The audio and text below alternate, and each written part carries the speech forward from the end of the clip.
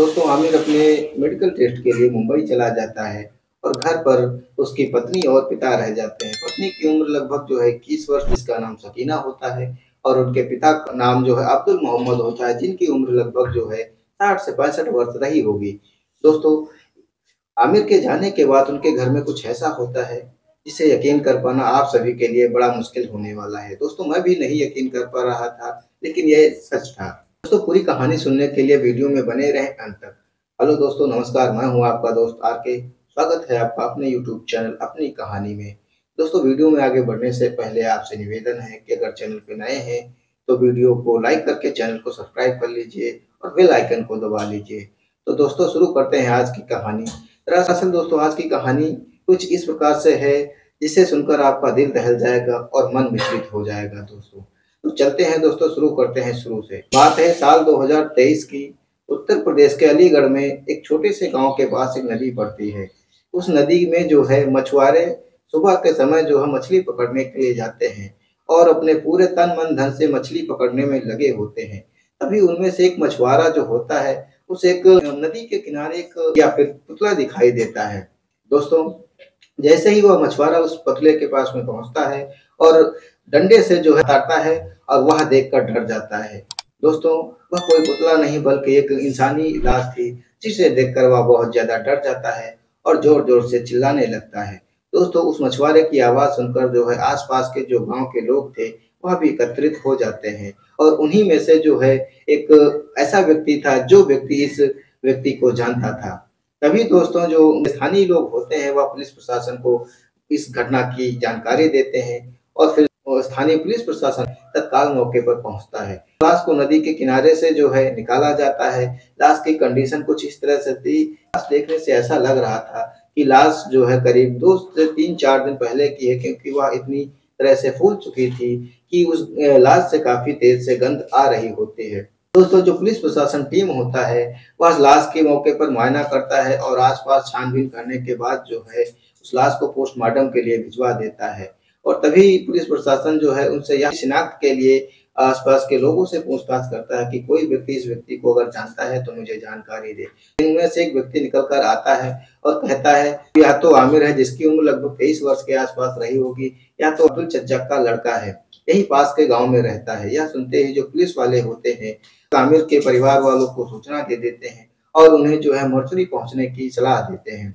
क्योंकि जो आमिर का जो शव था, वह मोर्चरी ही पहुँचा दिया गया होता है। अगले दिन जब तक आमिर की पत्नी और अब्दुल और जो होटल पहुँचते हैं आमिर को देखने के लिए, और जैसे ही उसको देखते हैं तो फूट फूट कर रोने लगते हैं। फिर जो है, अगले दिन उनको लाश सौंप दी जाती है, और पूरी विधि विधान से जो आमिर होता है, उसका दाह संस्कार उसके परिवार वाले, उसकी पत्नी और उसके जो पिता होते हैं, वो कर देते हैं। और जैसे ही आमिर का दाह संस्कार होता है, उसके अगले दिन जो पुलिस प्रशासन टीम होती है, उसकी पत्नी और अब्दुल को बुलवाते हैं और पूछते हैं कि यह सब कैसे हुआ?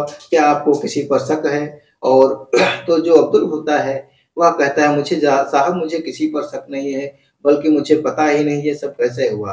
तो पुलिस प्रशासन टीम उनसे कहती है कि आपका लड़का कब गायब हुआ था? तो वो जवाब देते हैं कि करीब चार दिन हो गए साहब। तो उनसे कहते हैं कि अगर आप, आपके लड़का चार दिन से गायब था तो आपने कहीं एफआईआर तो कराई होगी।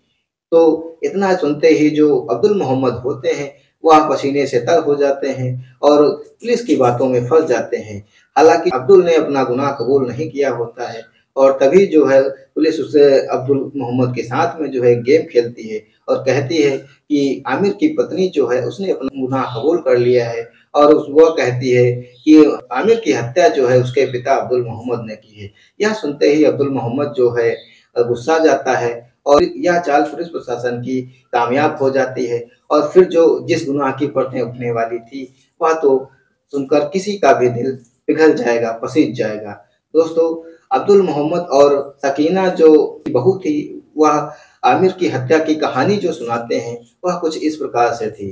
कहानी शुरू होती है, घटना से करीब दो साल पहले की बात है, जब आमिर अपने पिता अब्दुल और उसकी माँ सलीमा बेगम के साथ में जो है, उत्तर प्रदेश के अलीगढ़ में एक छोटे से गाँव में, एक छोटे से परिवार में रहता था। जो अब्दुल था, उसकी माली हालत कुछ ठीक नहीं होती है और अपनी खेती बाड़ी करके जो है, वहीं से कुछ पैसा पैसा जुटाता था और अपने बच्चे आमिर को पढ़ा रहा होता है। हालाँकि जो आमिर था, वह दसवीं में पढ़ने के बाद जो है पढ़ाई छोड़ देता है और उसका जो पढ़ाई में मन था, वह नहीं लग रहा होता है। इसलिए जो आमिर था, वह बाहर जाकर, यानी सऊदी जाकर के जो है कमाई करने की बात अपने माता पिता से कहता है, और दोस्तों, कुछ दिन के बाद जो आमिर होता है, वह अपना वीज़ा लगवाने के लिए मुंबई चला जाता है और कुछ दिन बाद उसका वीज़ा भी अप्रूव हो जाता है और फिर वह दो साल के लिए सऊदी जाने के लिए तैयार हो जाता है। दोस्तों, कुछ ही हफ्तों के अंदर अंदर जो आमिर होता है, वह सऊदी के लिए निकल जाता है। सब कुछ ठीक ठाक परिवार में चल रहा होता है और इधर जो अब्दुल होते हैं, वो अपनी पत्नी के साथ में खेती बाड़ी करके अपना परिवार रहन रहन सहन कर रहे होते हैं। और उधर जो आमिर था, वहाँ अच्छा खासा पैसा कमा रहा होता है और अपनी मंथली सैलरी जो होती है वो थी वह घर में भेजता। धीरे धीरे थोड़ा वक्त और गुजरता है। आमिर होता है, इस बीच उसको सऊदी में जो है, दो साल का वक्त गुजर जाता है और फिर उसका जो वीज़ा था, वह एक्सपायर होने की कगार पर आ जाता है। और फिर एक दिन वह जो है, अपने घर में फ़ोन करके बता देता है कि, अब्बू, मैं घर आ रहा हूँ, मेरा जो वीज़ा है, वह एक्सपायर हो गया है। इस खुशी में जो उसके माता पिता बहुत ही खुश होते हैं। और फिर एक दिन जो अमीर होता है, वह अपने घर उत्तर प्रदेश के अलीगढ़ एक छोटे से गाँव में आ जाता है। दोस्तों, यहाँ तक यहाँ तक तो सब कुछ ठीक ठाक चल रहा होता है। सब परिवार में सभी लोग खुश होते हैं और आमिर भी खुश होता है। इस बीच जो आमिर की एज थी, वह करीब तेईस वर्ष के आसपास हो चुकी थी। तो एक दिन उसकी अम्मी जो थी, वह कहने लगी, क्यों ना अब हम अपने आमिर की शादी कर दें और एक अच्छी सी बहुरिया ले आए? दोस्तों कुछ दिन के बाद जो आमिर का रिश्ता भी तय हो जाता है, उसकी शादी जो है एक संकीना नाम की लड़की से कर दी जाती है। वह बेहद ही खूबसूरत और आकर्षक बदन वाली लड़की होती है इसकी उम्र लगभग 21 वर्ष के आसपास होती है और हम दोनों का जो कॉम्बिनेशन था बहुत ही अच्छा बैठ रहा होता है। और जैसे ही इन दोनों की शादी होती है, पहली ही रात को जो आमिर था, वह अपनी पत्नी से कहता है, देखो, मेरे माता पिता ही मेरे भगवान हैं मैं जो कहता हूँ, भले मन करना, लेकिन जो मेरे माता पिता कहते हैं, वो आप ज़रूर करना। दोस्तों, यह सुनकर उसकी पत्नी भी उसके हस्बैंड को पाकर बहुत ही गर्व महसूस कर रही होती है। वक्त और गुजरता है तो सब कुछ ठीक ठाक चल रहा होता है। इस बीच जो आमिर था, अपनी पत्नी से कहता है, देखो, अब सब कुछ तो ठीक हो गया है, मैं सऊदी जाने के लिए जो है, अपना वीज़ा लगाने जा रहा हूँ। यह सुनते ही उसकी पत्नी जो है, उदास हो जाती है और कहती है कि, नहीं, अभी कितना टाइम हुआ है, वही आप जा रहे हैं। ठीक है। लेकिन जो आमिर था, वह उसकी बात नहीं मानता है। वह कहता है, देखो, अभी तक तो था, ठीक था, लेकिन अब माता पिता हैं और तुम हो, घर में कोई दिक्कत नहीं है। अगर मैं कमाऊँगा नहीं तो आप लोग खाओगे क्या? तो उसकी पत्नी समझदार थी और वह कहती है, ठीक है, आप जाइए, मैं यहाँ पर आमिर था वह वीज़ा अप्लाई कर देता है। इस बीच जो है, आमिर की माता होती है, जिनका नाम सलीमा बेगम हो। उनकी तबीयत अचानक से बिगड़ जाती है और फिर जो है, काफ़ी इलाज के बाद जो है, उनकी मृत्यु हो जाती है। इससे जो आमिर था, वह बहुत ही दुखी हो जाता है और जो अपनी माता का क्रियाक्रम करने के बाद जो आमिर होता है, करीब दो महीने बाद जो है उससे उबर पाता है। करीब दो महीने के बाद जो है, अपनी माता के गम में वह उबर के आ पाता है। इस बीच जो है, उसके जो अबू होते हैं मोहम्मद मोहम्मद, वह उससे कहते हैं उसे कहते हैं, क्यों ना बेटा मैं दूसरी शादी कर लूँ? यह सुनते ही आमिर और आमिर की पत्नी जो है, नाराज़ हो जाते हैं और कहते हैं, अभी माता को मरे हुए करीब दो महीने भी नहीं बीते और आप दूसरी शादी करने के लिए बात कर रहे हैं।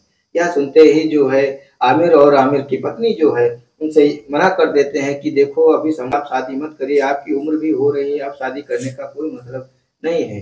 दोस्तों, इस दिन के बाद जो का पिता होता है, अब्दुल मोहम्मद हुआ वह जो है, अपनी बहुरिया पर जो है गंदी नज़र डालना शुरू कर देता है और किसी न किसी बहाने से अपनी बहू को बुलाता, पैरों में तेल लगाने के बहाने और कभी किसी काम के लिए जो है बुलाता और उसे जो है देरों तक घूरता रहता और उसे निहारता रहता। दोस्तों, अब यह सब कुछ जो आमिर की पत्नी थी, वह समझ गई थी क्योंकि वह पढ़ी लिखी पत्नी होती है। और उसने सोचा कि मैं इस बात को आमिर को बताऊँगी, लेकिन फिर उसने सोचा अभी माता को मरे हुए ज़्यादा समय भी नहीं बीता है और इस दौरान अगर इतनी बड़ी बात मैं अपने पति से कहूँगी तो उनके दिल पर क्या गुजरेगी? इसी बीच जो है, कुछ वक्त और गुजरता आमिर था, उनको मुंबई से फ़ोन आता है और उनका जो वीज़ा था, वह अप्रूव हो जाता है। उन्हें जो है, मेडिकल टेस्ट के लिए मुंबई बुलाया जाता है। फिर यह बात जो आमिर होता है, वह अपनी बीबी शकीना को बताते हैं कि मुझे मुंबई जाना होगा मेडिकल टेस्ट के लिए, क्योंकि जो है, वहाँ कितना भी समय लग सकता है। हालाँकि जो सकीना थी, इस बात से जो है, काफ़ी उदास हो जाती है। अपने पति से अलग नहीं रहना चाह रही होती लेकिन वो भी क्या करती, क्योंकि उसका पति ही उससे कह रहा था कि मुझे सऊदी जाना है जब वो पैसा कमाना है। तो वह भी जो है उदास मन से कहती है, ठीक है, आप चले जाइए, मुझे कोई दिक्कत नहीं। दोस्त है कुछ एक हफ़्ते के बाद जो है, एक महीने के लिए मुंबई चला जाता है।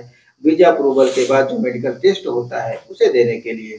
फिर उस दिन शाम होती है और उसी रात जो आमिर का पिता अब्दुल मोहम्मद होता है तो हालाँकि उसकी नज़र पहले से ही सकीना पर बुरी नज़र होती है। और जो सकीना थी, उस दिन खाना पीना बना करके जो है, अपने ससुर को खाना दे देती है और अपने कमरे में जा करके दरवाज़ा लगा लेती है। सकीना का ससुर होता है, उसे आवाज़ देता है कि, बेटा, यहाँ आकर के पैरों में तेल लगा दो। जो सकीना होती है, फिर अपना दरवाज़ा खोलती है और एक कटोरी में तेल लेकर के उनके कमरे में आती है। और जो अब्दुल मोहम्मद होता है, सकीना का ससुर, वह जो है बेड पर लेटा होता है और जो सकीना थी, वह दुपट्टा और नाइटी में होती है। जैसे ही वह उसके पैरों में तेल लगाती है और जो अब्दुल मोहम्मद होता है, उसे गाड़ी नज़रों से देख रहा होता है। कभी कुछ ऐसा होता है कि जो सकीना का दुपट्टा होता है, वह गिर जाता है और जो मोहम्मद आमिर का पिता होता है, वह देखकर अपने आप को काबू पाता है और सकीना के साथ ज़बरदस्ती करना शुरू कर देता है। दोस्तों, काफ़ी मुशक्क़त के बाद जो है सकीना अपने आप को बचा नहीं पाती है और जो अब्दुल मोहम्मद होता है, वह जो है सकीना को अपनी हवस की आग में झोंक देता है। और जो है, कुछ देर बाद वह रोते हुए अपने कमरे में चली जाती है। दोस्तों, अगले दिन भी यही होता है। अब धीरे धीरे जो, धीरे धीरे जो सकीना थी, उसे जो है, अपने ससुर अब्दुल मोहम्मद की भी आदत लग चुकी होती है और करीब एक महीने के बीच जो है इन दोनों के बीच जो है, काफ़ी बार शारीरिक संबंध बनते हैं और यह दोनों एकदम मियाँ बीवी की तरह रहने लगे होते हैं। क्योंकि जो आमिर था, वो तो एक महीने से घर में ही नहीं होता है। एक दिन अचानक जब आमिर का मेडिकल टेस्ट सफल हो जाता है और फिर सरप्राइज़ देने के लिए सकीना को फ़ोन भी नहीं करता है और कहता है कि घर जाकर ही सकीना को यह सरप्राइज़ दूँगा। जो है मुंबई से उत्तर प्रदेश के लिए निकलता है और जो है शाम को जैसे ही अलीगढ़ को पहुँचता है अपने घर आ जाता है। अपने घर आने के बाद क्योंकि उसे सर, आमिर को अपनी बीवी को सरप्राइज़ देना होता है इसलिए बिना कुंडी खटखटाए जैसे ही घर पर पहुँचता है तो बाहर का जो मेन दरवाज़ा होता है वह खुला होता है। दरवाज़ा खोलकर जो आमिर होता है, उसे कुछ थोड़ा शक होता है तो फिर वह अंदर चला आता है। जैसे ही अंदर आता है तो जो आमिर का कमरा होता है, उस सिस्कियों की आवाज़ आ रही होती है।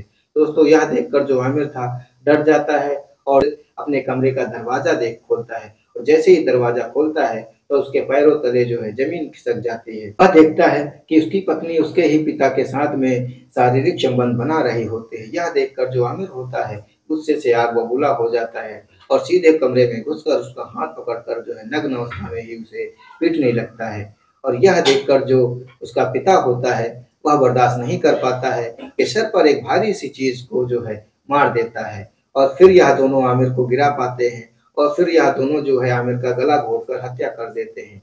दोस्तों, आज जो है एक पिता अपने बेटे को और एक पत्नी जो है अपने पति को मार चुकी थी।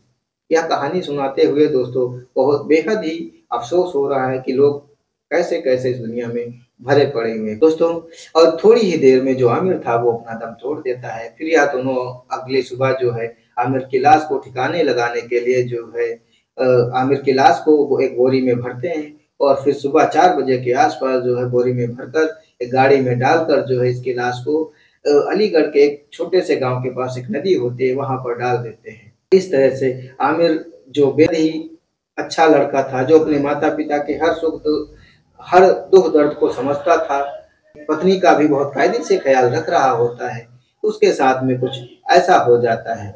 और इस तरह से एक अच्छे पति और एक अच्छे बेटे की जो है, ज़िंदगी का अंत हो जाता है। आज की कहानी में बस इतना ही। दोस्तों, इस पूरी कहानी में आप लोगों की क्या राय है, कमेंट बॉक्स में अपनी राय ज़रूर दें। इस कहानी का सुनाने का मकसद किसी की भावनाओं को ठेस पहुंचाना नहीं, बल्कि समाज में हो रहे अपराध के खिलाफ जो है, सजग और जागरूक बनाना है। दोस्तों, अगर वीडियो थोड़ा भी अच्छा लगा हो तो वीडियो को एक लाइक ज़रूर कर दीजिए। वीडियो बनाने में बड़ी मेहनत लगती है दोस्तों। और चैनल पे नए हैं तो चैनल को सब्सक्राइब कर लीजिए। हम इसी तरह की क्राइम स्टोरीज लाते रहते हैं। जय हिंद, जय भारत।